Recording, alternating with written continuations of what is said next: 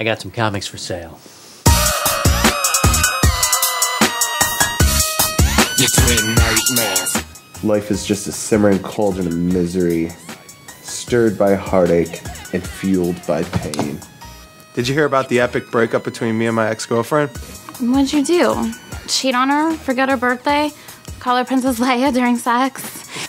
She goes from dating an intelligent, well mannered individual like myself to dating somebody that actually has to be reminded to breathe through their nose. You know, if Chuck catches peeping in his windows, he's gonna pulverize us. Then go home. You don't have to be here. Someone has to call the ambulance.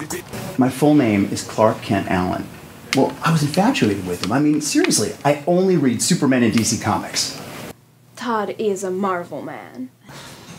Okay, yeah, that's great. You could ask his dogs, Stan and Lee. So, what does Lisa do for a living? It's complicated. So is my relationship status on Facebook, but that doesn't tell me anything. You want to come over for some D and D, Dungeons and Dragons? Sure. You better calm down. Dungeons You're and bouncing off the walls. Drinking and debauchery. Let go and have a Dude, no. You're just jealous because she's into me and not you. What? You know I still love you though, right? And I love you.